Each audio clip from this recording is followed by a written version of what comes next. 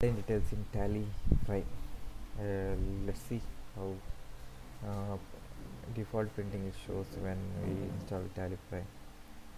If we give control p or print here if you see in preview it shows that uh, and shipping details like uh, it takes some space more space for that one.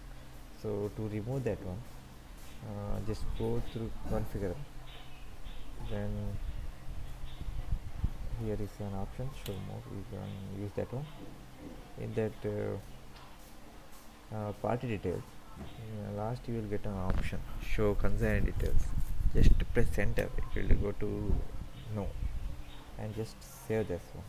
Now if you see the preview uh, it only shows that uh, buyer detail and the company detail that's much only.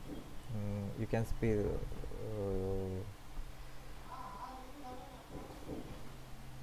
you can reduce lots of space here uh, by disabling that option. If uh, anyone want that consignee and buyer detail different different then you can use that one.